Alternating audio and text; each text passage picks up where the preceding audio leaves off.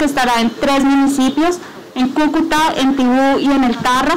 Y la idea de este programa es generar nuevas oportunidades de la mano de los jóvenes del departamento, oportunidades socioeconómicas, de empleabilidad, de emprendimientos, pero también de acompañamiento a los jóvenes y sus familias para generar comunidades mucho más resilientes a la violencia.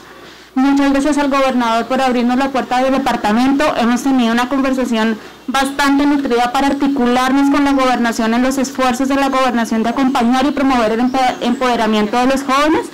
Y pues nada, bienvenidos y de verdad este es un día muy emocionante para USAID hoy acá en Norte de Santander estamos en una fase de co-creación precisamente con los jóvenes. Entonces, en este momento los invitamos a todos a participar de esos espacios de, de, co-creación. Estamos escuchando a todos los jóvenes para crear, perdón, soy chaparrita, eh, para crear eh, esto es un plan de acción, digamos, para cada uno de los municipios que recoja las prioridades de los jóvenes de cada territorio. ¿Qué pueden esperar en este momento? Ser escuchados. Eso es lo que en este momento estamos haciendo para que todas sus prioridades, lo que quieren los jóvenes de cada uno de los municipios, sus necesidades sean tenidas en cuenta en la construcción de ya la implementación y de la fase de implementación del programa. Eso sería. Gracias.